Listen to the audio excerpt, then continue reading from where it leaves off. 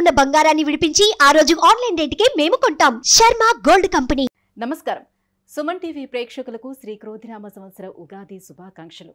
తెలుగువారికి ఎంతో ఇష్టమైన పండుగ ఉగాది.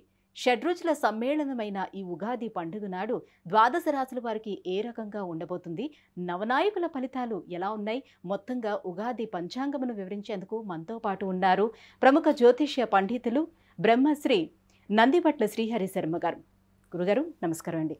వాగర్థావివ సంపృక్తౌ వాగర్థ ప్రతిపత్తయే జగతః పితరౌ వందే పార్వతీ పరమేశ్వరౌ.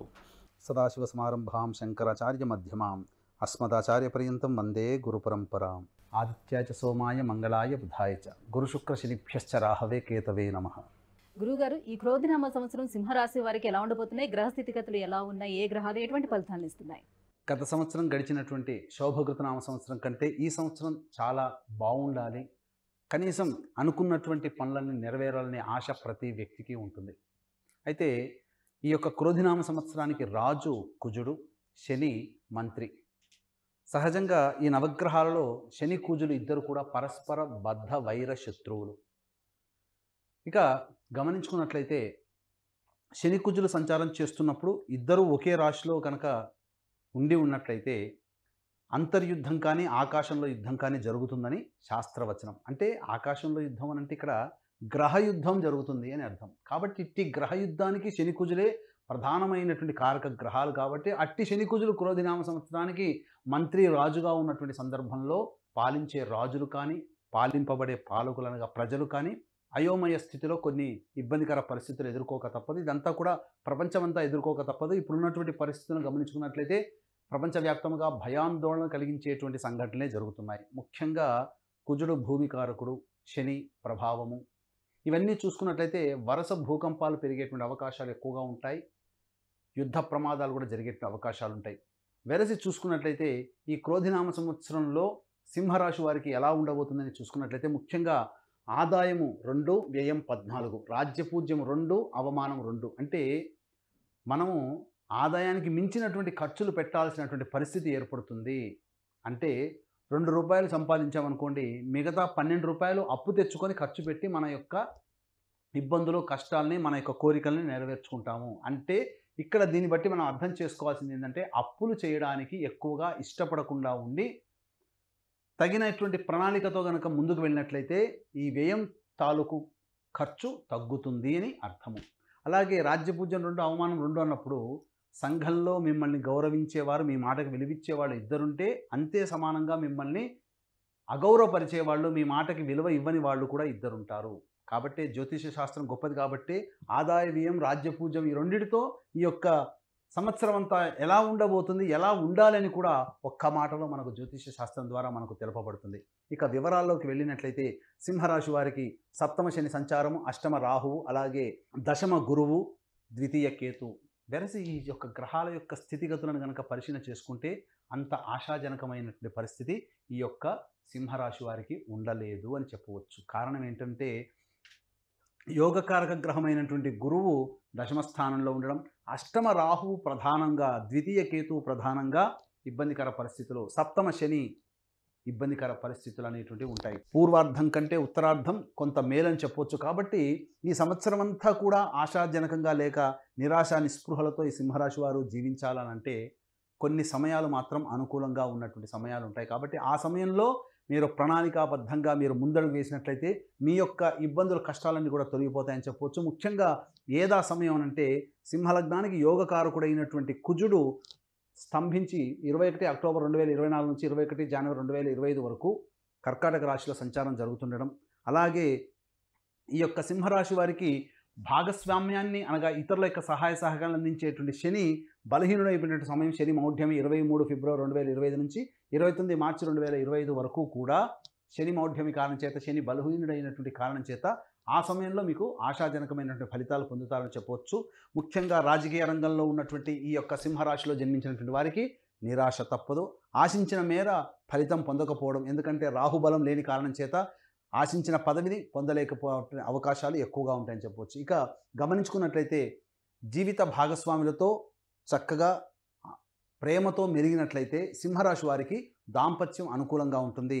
అహంకారం చూపించినా ఇగో ప్రాబ్లమ్స్ చూపించినా కొన్ని ఇబ్బందికర పరిస్థితులు అనేటివి ఎదురవుతాయని చెప్పవచ్చు. ముఖ్యంగా ధనపరమైనటువంటి సమస్యలు ఎక్కువగా ఉంటాయి. ఊహించిన దానికంటే ఎక్కువగా ఖర్చు అయ్యేటువంటి అవకాశం ఎక్కువగా ఉంటుంది. ముఖ్యంగా ఈ యొక్క కుజుని యొక్క ప్రభావము ముఖ్యంగా చతుర్థ స్థానం మీద అలాగే ఈ సంబంధించినటువంటి షష్టమ సప్తమ స్థానం మీద ఉన్నటువంటి దృష్టి కారణం చేత అక్టోబర్ వరకు కూడా గృహంలో పలు చికాకులు సమస్యలు అనేటివి తలెత్తుతాయి.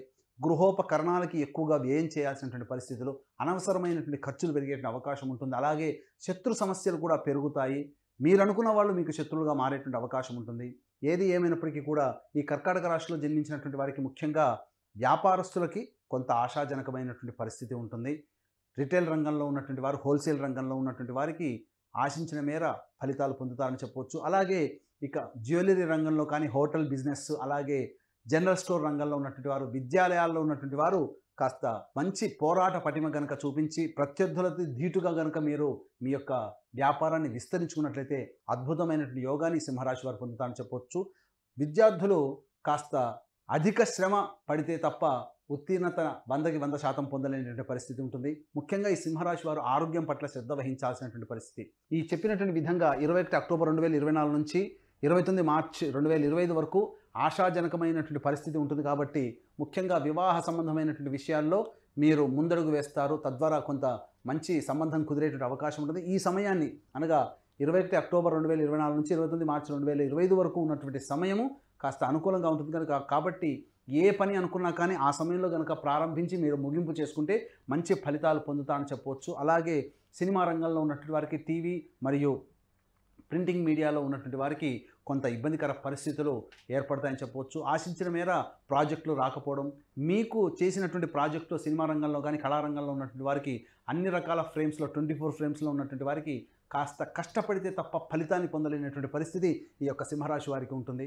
ముఖ్యంగా కుటుంబ వ్యక్తుల యొక్క సహాయ సహకారాలు లేని కారణం చేత ఇంట ఎదుర్కొనే మానసికమైనటువంటి ప్రశాంతత లేకపోవడం చేత ఇబ్బందికర పరిస్థితులు బయట వేసి చేసేటువంటి కార్యక్రమాల్లో మీ యొక్క మనసు లగ్నం లేకపోవడం చేత ముఖ్యంగా వెరసి ఆశాజనకంగా ఉండకపోవడం తద్వారా చికాకులు సమస్యలు పెరగడం అనేటువంటిది సింహరాశి వారికి అక్టోబర్ వరకు ఉంటుంది. అక్టోబర్ నుంచి ఇరవై ఒకటి అక్టోబర్ నుంచి కాస్త మెరుగైనటువంటి కాలం అనేటువంటిది ఉంటుంది కాబట్టి తప్పకుండా వివాహాది శుభకార్యాలు అనేటువంటి జరుగుతాయి. ముఖ్యంగా దేవాలయ సందర్శనం మీకు జీవితాన్ని మలుపు తిప్పుతుంది.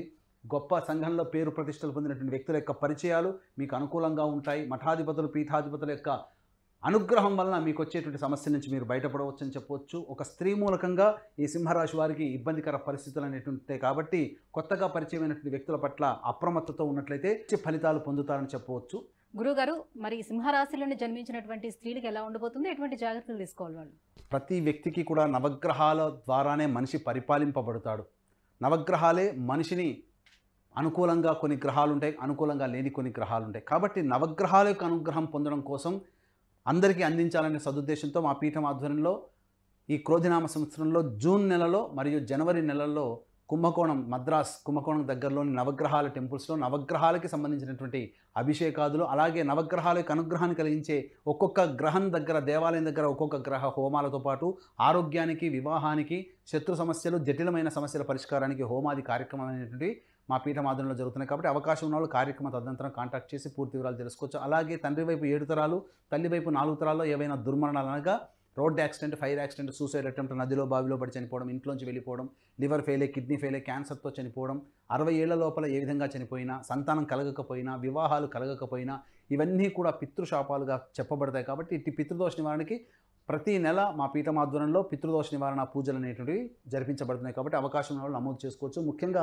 గమనించుకున్నట్లయితే సింహరాశిలో జన్మించినటువంటి స్త్రీలకి ముఖ్యంగా ఆరోగ్యం పట్ల శ్రద్ధ వహించాల్సినటువంటి పరిస్థితులు. అనగా పీసీఓడి ప్రాబ్లమ్స్ ఎదురయ్యేటువంటి అవకాశాలు ఎక్కువగా ఉంటాయని చెప్పొచ్చు. కాకపోతే గురుబలం చేత మీ మాటకి ఎదురనేటువంటిది ఉండదు. కానీ అనవసరమైనటువంటి బాధ్యతలు నెత్తి మీద వేసుకోవడం ద్వారా ఆరోగ్యాన్ని కోల్పోవడము అలాగే మీరు చేసినటువంటి పని ఎదు ఎదుటి వారికి నచ్చకపోవడం వల్ల ఎదుటి వాళ్ళ యొక్క చీత్కారాలు ఎక్కువగా పడడం ఇవన్నీ కూడా ఈ సింహరాశిలో జన్మించినటువంటి స్త్రీలకి కలుగుతుంది. కాబట్టి జాగ్రత్తలు పాటించి ఎవరికి మనం సహాయ సహకారం అందించాలని ఒకటి రెండు సార్లు ఆలోచించి మీరు కనుక ముందడుగు వేసినట్టయితే మీ మాటకి మీ యొక్క గౌరవానికి ఇబ్బందికరం లేకుండా మంచిగా మీ యొక్క జీవితం సజావుగా సాగుతుందని చెప్పొచ్చు. అలాగే వివాహం కావాల్సినటువంటి స్త్రీలకి ఈ సంవత్సరం వివాహాలు అయ్యేటువంటి అవకాశాలు ఎక్కువగా ఉన్నాయి. గృహోపకరణాలు మీరు కొనుగోలు చేస్తారు. మీకు వాహన ప్రాప్తి అనేటువంటిది ఈ యొక్క సింహరాశిలో జన్మించినటువంటి స్త్రీలకు ఉంటుంది. అలాగే తల్లిదండ్రుల తరపు బంధువులకి కొంత అనారోగ్య సమస్యలు చేసే అవకాశం ఉంది కాబట్టి జాగ్రత్తలు పాటించాల్సిన గురుగారు అనుకూలమైనటువంటి పరిస్థితుల కోసం ఏ దైవాన్ని వీళ్ళు పూజించవలసి ఉంటుంది? ఇంకా ఎలాంటి పరిహారాలని పాటించాలి? సింహరాశి వారికి గమనించుకున్నట్లయితే ప్రధానంగా ఈ సంవత్సరం ప్రథమార్థం బాగోలేదు ద్వితీయార్థం బాగుంది కాబట్టి ఈ యొక్క ఉగాది నుంచి ఇరవై ఒకటి అక్టోబర్ వరకు అనుకూలంగా లేని కారణం చేత ప్రధానంగా ఈ సింహరాశిలో జన్మించినటువంటి వారు ప్రతిరోజు కూడా సూర్యోదయం కంటే ముందే నిద్రలేచి స్నానం ఆచరించి ఉదయిస్తున్నటువంటి సూర్యుడికి నమస్కారం చేసి ఆరుసార్లు అర్ఘ్యం ఇచ్చేసేసి అనగా సూర్యునికి అర్ఘ్యం ఇచ్చి సూర్యాష్టకాన్ని ఆరుసార్లు పారాయణం చేయండి. ఆ ప్రతిరోజు వచ్చేటువంటి ఇబ్బందులన్నీ కూడా తొలగిపోతాయి. ఇక ముఖ్యంగా సమస్య ఎదురైనప్పుడు ప్రతి మనిషి కూడాను సమస్య ఎదురైనప్పుడు ఆలోచన తగ్గుతుంది. కాబట్టి ఈ రాశిలో జన్మించినటువంటి స్త్రీలు కానీ పురుషులు కానీ సమస్యలుగా ఉన్నప్పుడు తులసి చెట్టు దగ్గర ఆవు నేతితో దీపారాధన చేసి ఇరవై ఏడు రోజుల పాటు ఖచ్చితంగా ఇరవై ఏడు రోజుల విష్ణు సహస్రనామ పారాయణ చేయండి. విష్ణు సహస్రనామ పారాయణ చేసినట్లయితే తప్పకుండా మీ సమస్య పరిష్కారం అవుతుంది. కొంత మానసికమైనటువంటి ప్రశాంతత కలుగుతుంది. దేవాలయంలోనైనా చేయొచ్చు ఇంట్లోనైనా చేయొచ్చు. లేదు ఇంకా మీకు ఈ చేసుకోలేని పరిస్థితుల్లో ఉన్నామనంటే కుంభకోణం దగ్గరలో ఉన్నట్టు నవగ్రహాల టెంపుల్స్లో మా పీఠం ఆధ్వర్యంలో నవగ్రహాలకి అభిషేకాలు నవగ్రహాలకి దేవాలయాల్లో హోమాది కార్యక్రమాలు జరపబడుతున్నాయి కాబట్టి ఆ కార్యక్రమ తదనంతరం మీ గోతనామాలు నమోదు చేసుకోవచ్చు. ఇక ఈ యొక్క సింహరాశి వారికి అదృష్ట సంఖ్య ఒకటి అదృష్ట వారము గురువారము ఆదివారము మంగళవారం అని చెప్పవచ్చు గురుగారు ఈ సింహరాశి వారికి ఈ క్రోధినామ సంవత్సరం ఎలా ఉండబోతుంది? ఎటువంటి పరిహారాలను పాటించుకుంటే వారికి మరింత యోగదాయకంగా ఉండబోతుందనే విషయాన్ని తెలియజేసినందుకు ధన్యవాదాలు. సర్వం శ్రీ ఉమామహేశ్వర పరబ్రహ్మార్పణమస్తు.